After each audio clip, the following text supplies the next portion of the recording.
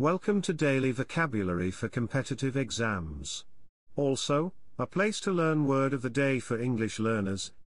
In this video, you will learn the usage, synonym and antonym for the word of the day. In today's video, I have a new word for you. Ethereal. The word ethereal means extremely delicate and light in a way that seems not to be of this world.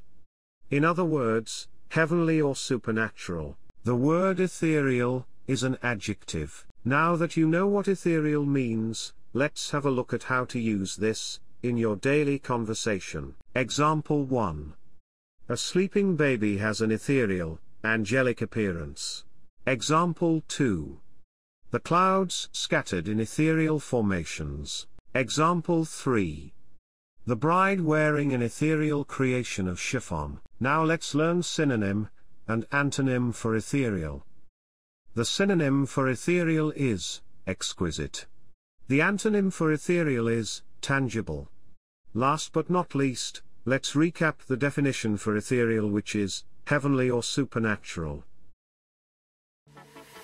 Now to test more on vocab skills, click the video on the right, and to learn the previous type, click the video on the left. So take your pick.